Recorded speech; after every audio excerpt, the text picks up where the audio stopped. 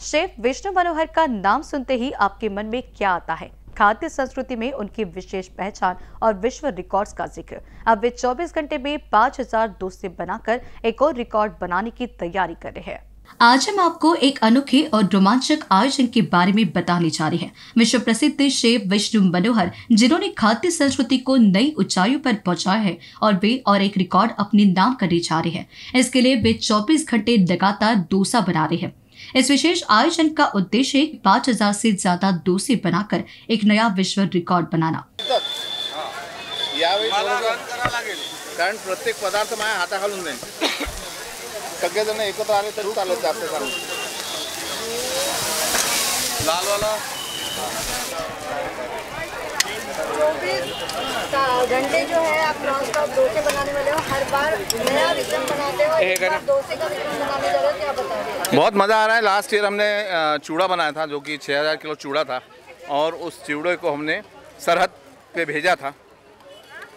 तो इस बार मैंने ऐसे सोचा कि ठीक है, चूड़ा है, सब्ज़ी है, चावल है, एक साथ बना के हम खिलाते हैं।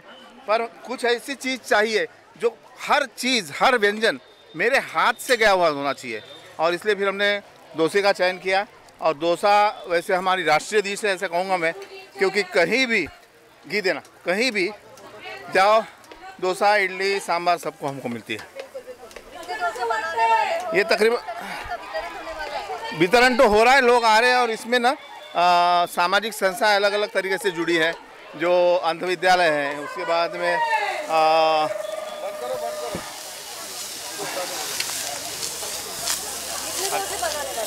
डोसे तकरीबन दस हज़ार डोसे इसमें बनेंगे। सामाजिक संस्थाएँ अंध विद्यालय है, उसके बाद अनाथ आश्रम है।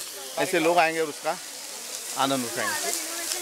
इनोवेशन नहीं नहीं, कोई अलग इन्वेस्टिंग नहीं है। बस रेगुलर जो डोसे हैं, वही डोसे हैं, चटनी के साथ में।